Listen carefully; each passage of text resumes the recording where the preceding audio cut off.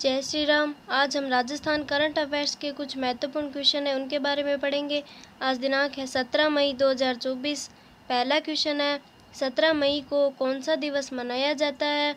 इसका आंसर होगा विश्व दूर संचार दिवस।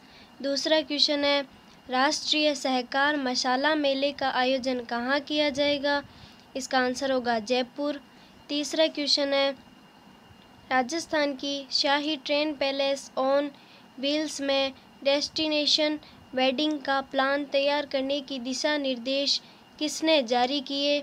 इसका आंसर होगा दिया कुमारी। चौथा क्वेश्चन है, आईएसआरडी के प्रतिष्ठित यंग अचीवर अवार्ड 2024 के लिए राज्य से किस छात्र का चयन हुआ? इसका आंसर होगा गर्वित गुप्ता का। पांचवा क्वेश्चन है, राजस्थान में किस विभाग द्वारा एक से इकतीस जुलाई 2024 तक हरी वन वृक्षारोपण अभियान चलाया जाएगा।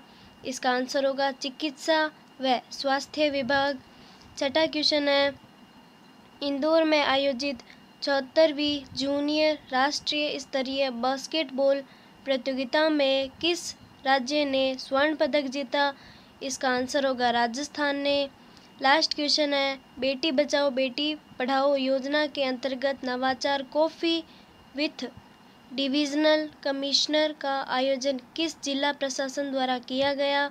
इसका आंसर होगा पाली।